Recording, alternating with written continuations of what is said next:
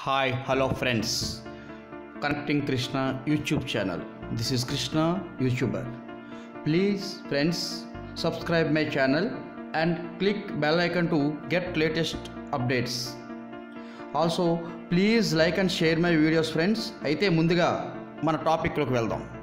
మనం last topic వచ్చేసరికి మనం మైక్రోసాఫ్ట్ ఎక్సెల్లో స్టూడెంట్ టేబుల్ అనేటువంటిది ఎలా క్రియేట్ చేయాలి దాన్ని ఎలా ఫార్ములేషన్ చేయాలి అనేటువంటిది చెప్పుకోవడం జరిగింది.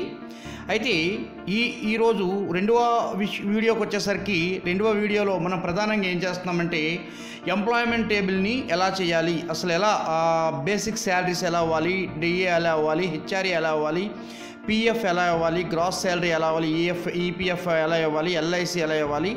అలాగే గ్రాస్ శాలరీ అంటే ఏంటి? డి అంటే ఏంటి? హెచ్ఆర్ఏ అంటే ఏంటి? అనేటువంటి మౌలిక అంశాల మీద మనం ఈరోజు డిస్కస్ చేద్దాం.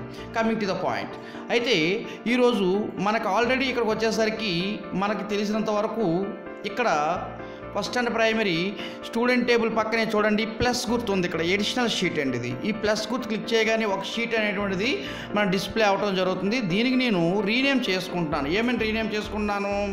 ఎంప్లాయ్మెంట్ టేబుల్ కాబట్టి ఎంప్లాయ్మెంట్ టేబుల్ అని రీనేమ్ చేసుకుంటున్నాను. ఎంప్లాయ్మెంట్ టేబుల్ అని రీనేమ్ చేసుకున్నాను చేసుకున్న తర్వాత దీనికి నేను కలరైజేషన్ కూడా ట్యాబ్ కలర్ కూడా నాకు నచ్చేటువంటి ఒక ట్యాబ్ కలర్ కూడా ఇవ్వటం జరిగింది. ఒక ట్యాబ్ కలర్ కూడా ఇవ్వటం జరిగింది. సో ఇక్కడికి వచ్చేసరికి ఇది కంప్లీట్గా మన ప్లెయిన్ డేటా షీట్ ఈ ప్లెయిన్ షీట్లో మనం ప్రధానంగా ఏం చేస్తాము? ఎంప్లాయ్మెంట్ టేబుల్కి వచ్చేసరికి ఫస్ట్ అండ్ ప్రైమరీ వచ్చేసరికి serial number next name of the employee name of the employee next వచ్చేసరికి బేసిక్ శాలరీ నెక్స్ట్ వచ్చేసరికి డిఏ నెక్స్ట్ వచ్చేసరికి హెచ్ఆర్ఏ నెక్స్ట్ వచ్చేసరికి పిఎఫ్ నెక్స్ట్ వచ్చేసరికి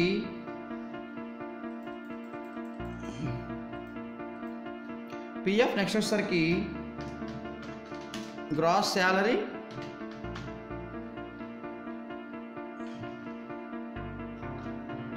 gross salary next వచ్చేసరికి ఈపీఎఫ్ నెక్స్ట్ వచ్చేసరికి ఎల్ఐసి నెక్స్ట్ వచ్చేసరికి total deductions next వచ్చేసరికి total deductions next వచ్చేసరికి నెట్ సేల్ సో ఇక్కడ మనం ప్రధానంగా చూసుకున్నట్టయితే ఇప్పుడు మనం యాజ్ యూజువల్గా పాత పద్ధతులు ఎలా చూసుకున్నాం? సీరియల్ నెంబర్ని సైజ్ చేసుకున్నాము. అలాగే నెక్స్ట్ వచ్చేసరికి ఇక్కడ name of the student name of the employer విషయంకి వచ్చేసరికి ఇంత మన ఇంత గ్యాప్ ఇచ్చుకుంటున్నాను? బేసిక్ శాలరీ ఇలా చేసుకున్నాను? సో అన్నీ చేసుకోవడం కరెక్ట్ కాదు కాబట్టి నేనేం చేస్తున్నానంటే యాజ్ యూజువల్గా అన్నిటికీ ఒకటే సైజ్ ఇవ్వటం జరుగుతుంది. సో ఈ విధంగా నేను తయారు చేసుకున్నానండి. చూడండి. విధంగా చేసుకున్నానండి. చాలా వాటికి మీరు ఈ విధంగా డ్రాగ్ చేసి సైజ్ పెంచుకోండి.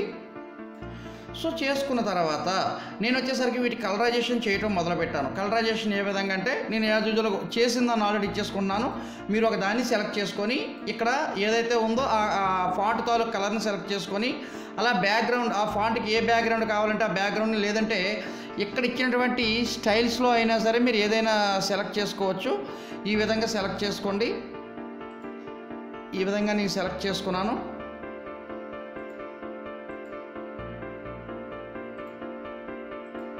అలాగే ఈ విధంగా సెలెక్ట్ చేస్తున్నానండి.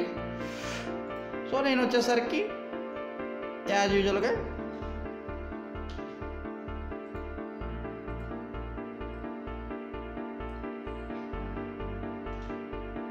సెలెక్ట్ చేశానండి. సెలెక్ట్ చేసి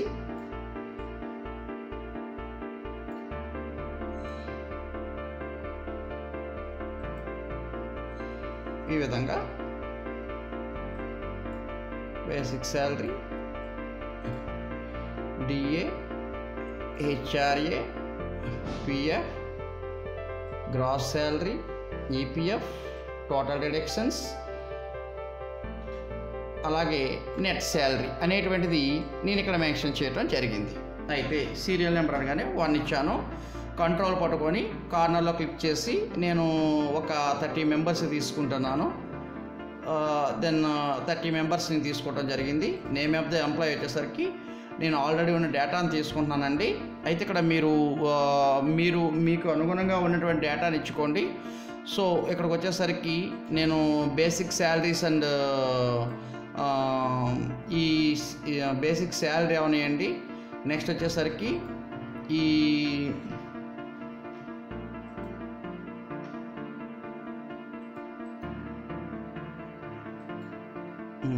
ఈ విధంగా నేను ఇచ్చుకుంటున్నాను. ఇచ్చుకున్న తర్వాత ఫస్ట్ అండ్ ప్రైమరీ వచ్చేసరికి డిఏ అంటే ఏంటి? డిఏ అంటే ఏంటి? ఫస్ట్ అండ్ ప్రైమరీ మనం చూద్దాం.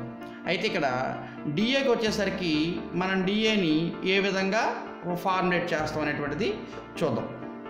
అయితే జనరల్గా మనకు వచ్చేసరికి ఇక్కడ ఎందులో ఉందండి?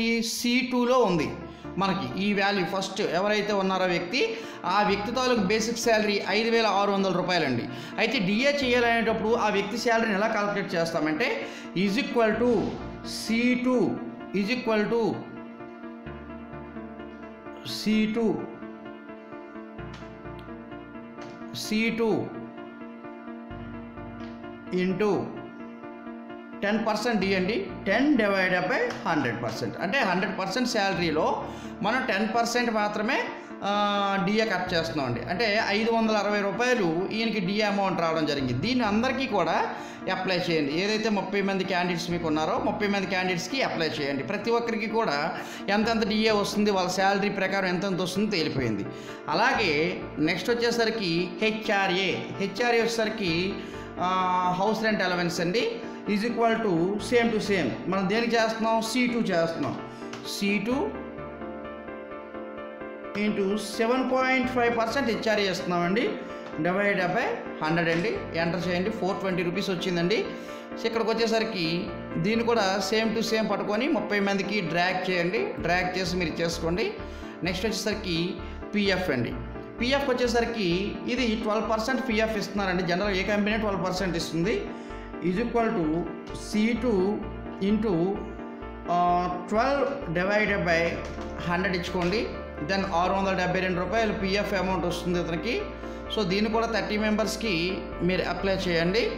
అలాగే friends gross salary gross salary విషయంకి వచ్చేసరికి ఈ candidate taluka basic salary plus DA plus HRA plus PF is equal to gross salary అయితే గ్రాస్ శాలరీని మనం ఎలా ఫార్ములేట్ చేయాలి?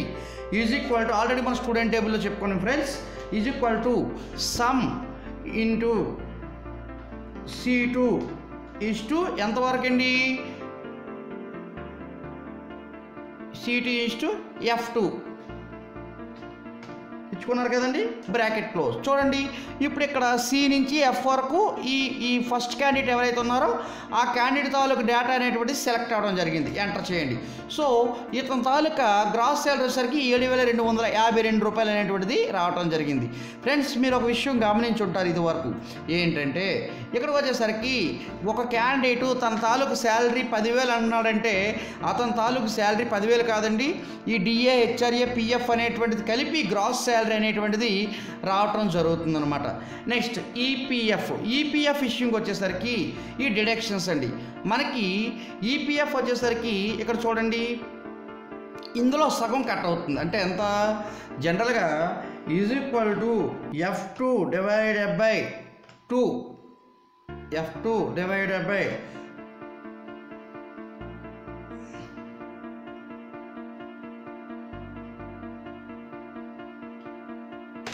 ఇస్తే సో ఇంత ఈపీఎఫ్ కట్ అవుతుంది. సో దీన్ని కూడా యాజ్ యూజువల్గా డ్రాగ్ చేసేసుకోండి. మీరు కంట్రోల్ పట్టుకొని డ్రాగ్ చేస్తే సీరియల్ నెంబర్ వచ్చేస్తుంది. సో వీటికి కంట్రోల్ పట్టుకొని డ్రాగ్ చేయాల్సిన అవసరం లేదు. నెక్స్ట్ ఎల్ఐసికి వచ్చేసరికి. ఎల్ఐసి కూడా H two divide by two ఇందులోంచి ఎల్ఐసి కట్ అవుతుంది. H two is equal to H two divided by two అనేటువంటిది ఇవ్వండి. So one sixty eight rupees same to same drag and drop okay friends next వచ్చేసరికి total deductions total deductions ఎంతది చూద్దాం. Is equal to sum into ఎక్కడి నుంచి అండి మన total deduction start అవ్వాలి? HT is to I two H two is to I two bracket close దాని enter five nought four rupees total deductions అంటే రెండు పోయింది.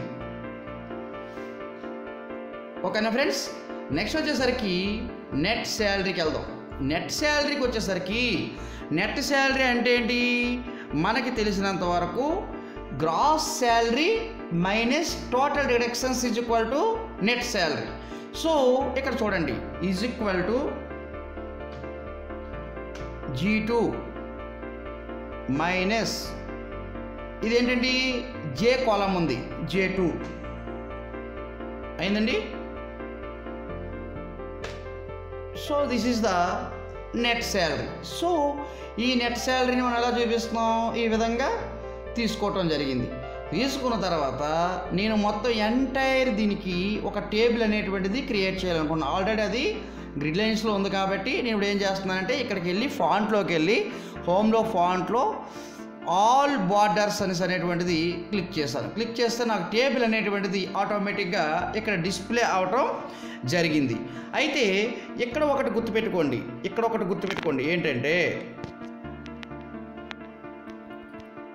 ఇక్కడ బేసిక్ శాలరీ అంటే ఏంటి? డి అంటే ఏంటి? హెచ్ఆర్ఏ అంటే ఏంటి? వాటి గురించి మనం కంప్లీట్గా ఒక వ్యూ చూద్దామండి. సో ఇక్కడ చూడండి.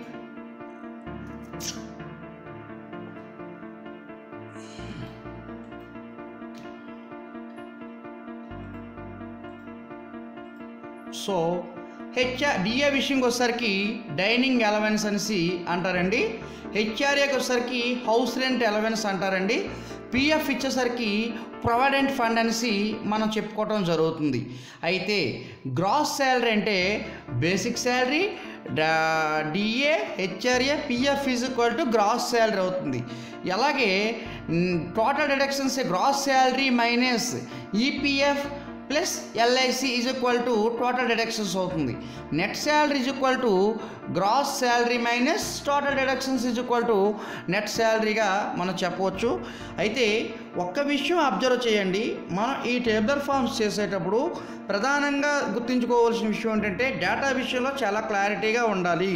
అయితే ఇక్కడికి వచ్చేసరికి చాలామంది కన్ఫ్యూజ్ అవుతూ ఉంటారు. ఫార్ములేషన్ చేసేటప్పుడు జనరల్గా ఈ ఫార్ములా రాదు రాదు అంటారు. ఎందుకు రాదండి? ప్రతి ఫార్ములా కూడా మనకి ఈజీగా రావటం జరుగుతుంది. ఎందుకంటే ఇది ఎక్సెల్ అనేటువంటిది వర్డ్ అనేటువంటిది పవర్ పాయింట్ అనేటువంటిది ఆల్రెడీ మన హ్యూమన్ బీయింగ్ హ్యూమన్ థింకింగ్ బట్టే డిజైన్ చేసినటువంటిది. అంటే మనం చేయగలిగినటువంటిది మనం చేయగలం. సో ఇటువంటి దాన్ని మనం సింపుల్గా చేయాలి. బట్ ఎవరు కూడా కాంప్లికేటెడ్గా ప్రిపేర్ అవ్వకండి. నెక్స్ట్ వచ్చేసరికి దీని తర్వాత మనం పవర్ బిల్ ఒకటి నెక్స్ట్ వచ్చేసరికి ఇంట్రెస్ట్ క్యాల్కులేషన్ ఒకటి రెండు చెప్తానండి. సో నా కీప్ వాచింగ్ అండి. నెక్స్ట్ వీడియోలో మరలా కలుద్దామండి. Thank you. Thank you boys.